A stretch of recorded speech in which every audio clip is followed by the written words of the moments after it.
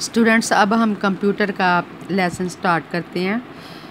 आज हम ना क्वेश्चन नंबर शार्ट जो हैं, वन और टू करते हैं, ठीक है?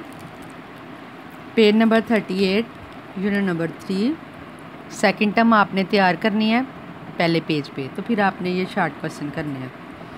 Write short answer to the following question question number one what are the four basic operations of a computer system इसका आंसर है number one, input number two, processing number three, output number four, memory storage.